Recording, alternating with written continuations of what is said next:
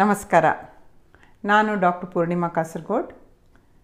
Rao family ಕಿಚನ್ಗೆ ಸ್ವಾಗತ. ಇವತ್ತು ನಾನು ಗಂಜಿ ಮಾಡೋದು ಹೇಗೆ ಅಂತ ತೋರಿಸ್ತೀನಿ. ಇದೊಂದು ಸ್ಪೆಷಲ್ ಗಂಜಿ. ಸಾಧಾರಣವಾಗಿ ಆಷಾಢ ಮಾಸದಲ್ಲಿ ಕನಿಯ ಪಕ್ಷ ಏಳು ದಿವಸ ಆದರೂ ಕುಡಿಯುವಂಥದ್ದು. ಯಾವಾಗ ಬೇಕಾದರೂ ಮಾಡಿ ತಿನ್ಬೋದು. ಆದರೆ ಆಷಾಢದಲ್ಲಿ ತಿಂದರೆ ಆರೋಗ್ಯವು ಚೆನ್ನಾಗಿರುತ್ತೆ ಅಂತ ಹೇಳ್ತಾರೆ. ಇದಕ್ಕೆ ನಾವು ನವರ ಗಂಜಿ ಅಂತಲೂ ಕರಿತೀವಿ. ನವರ ಅಂದರೆ ಒಂದು ರೀತಿಯ ಕೆಂಪು ಅಕ್ಕಿ, ಮೆಂತೆ ಗಂಜಿ ಅಂತಲೂ ಕರಿತೀವಿ. ಬನ್ನಿ, ಇದಕ್ಕೆ ಏನೇನು ಇನ್ಗ್ರೀಡಿಯೆಂಟ್ಸ್ ಬೇಕಂತ ನೋಡೋಣ.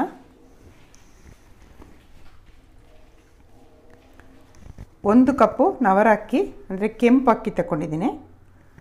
ಒಂದು ಕಪ್ಪು ಹೆಸರು ಕಾಳು, ಅರ್ಧ ಕಪ್ಪು ಗೋಧಿ, ಅಂದರೆ ಬ್ರೋಕನ್ ವೀಟು ಇಡೀ ಗೋಧಿ ಅಲ್ಲ.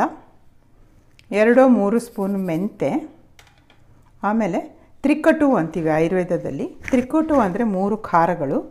ಅದರಲ್ಲಿ ಪಿಪ್ಪಲಿ, ತಿಪ್ಪಲಿ, ಶುಂಠಿ ಅಂತೀವಿ. ಪಿಪ್ಪಲಿ ಅಂದರೆ ನಿಮಗೆಲ್ಲ ಗೊತ್ತು ಕಾಳುಮೆಣಸು ತಿಪ್ಪಲಿ ಅಂದರೆ ಲಾಂಗ್ ಪೆಪ್ಪರು, ಆಮೇಲೆ ಶುಂಠಿ. ಪಕ್ಕನೆ ಸಿಕ್ಕಿಲ್ಲ ಅಂದರೆ ಪೆಪ್ಪರು, ಶುಂಠಿ ಎರಡು ಮಾತ್ರ ಹಾಕ್ಕೊಳ್ಳಿ ಆಮೇಲೆ ಉಪ್ಪು, ತುಪ್ಪ ತೆಂಗಿನಕಾಯಿಯನ್ನು ರುಬ್ಬಿ ತೆಗೆದಿರುವಂಥ ತೆಂಗಿನಕಾಯಿ ಹಾಲು. ಈಗ ಮೊದಲನೇದಾಗಿ ಅಕ್ಕಿ, ಹೆಸರುಕಾಳು, ಗೋಧಿ, ಮೆಂತೆ ತೊಳ್ಕೊಂಡು ಕುಕ್ಕರಲ್ಲಿ ಬೇಯಿಸಬೇಕು. ಬೇಯಿಸುವಾಗ ಅದಕ್ಕೆ ತ್ರಿಕಟ್ಟನ್ನು ಹಾಕ್ಕೊಳ್ಬೇಕು. ಒಂದು ಮೂರು ವಿಸಿಲಾದರೆ ಸಾಕಾಗುತ್ತೆ. ಬೆಂದಿದೆ. ಈಗ ರೆಡಿ, ರೆಡಿಯಾಗಿರೋದನ್ನು ತೆಗೆದು ಪಾತ್ರೆಗೆ ಹಾಕೋಣ.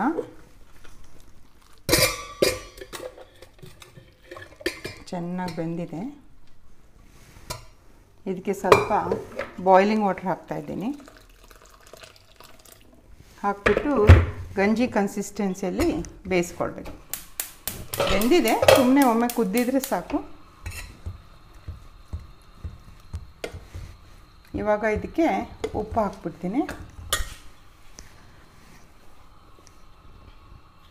ಎಷ್ಟು ರುಚಿಗೆ ಬೇಕೋ ಅಷ್ಟೇ ಉಪ್ಪು ಹಾಕ್ಕೊಂಡು. ಒಮ್ಮೆ ಚೆನ್ನಾಗಿ ಕುದಿ ಬರಲಿ, ಆಮೇಲೆ ಕಾಯಿ ಹಾಲು ಹಾಕ್ಕೊಂಡು ನಮ್ಮ ಗಂಜಿ ಚೆಂದಾಗಿ ಕುದೀತಾ ಇದೆ. ಇವಾಗ ಇದಕ್ಕೆ ನಾವು ಆವಾಗಲೇ ತೆಗೆದಿಟ್ಟಿರೋ ತೆಂಗಿನಕಾಯಿ ಹಾಲು ಹಾಕ್ತಾಯಿದ್ದೀನಿ ತೆಂಗಿನಕಾಯಿ ಹಾಲು ಹಾಕಿದ ಮೇಲೆ ತುಂಬ ಹೊತ್ತು ಕುದಿಸ್ಬಾರ್ದು.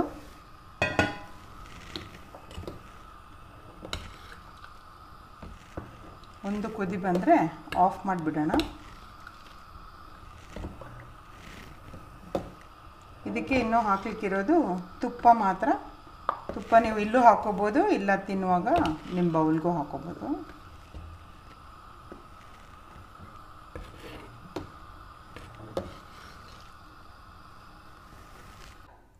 ನಮ್ಮ ನವರ ಗಂಜಿ ಮೆಂತೆ ಗಂಜಿ ರೆಡಿಯಾಗಿದೆ.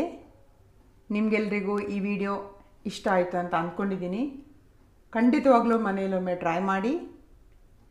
ನಮ್ಮ ರಾವ್ ಫ್ಯಾಮಿಲಿ ಕಿಚನ್ ವಿಡಿಯೋವನ್ನು ನೋಡಿದ್ದಕ್ಕೆ ಧನ್ಯವಾದಗಳು. ನಮಸ್ಕಾರ.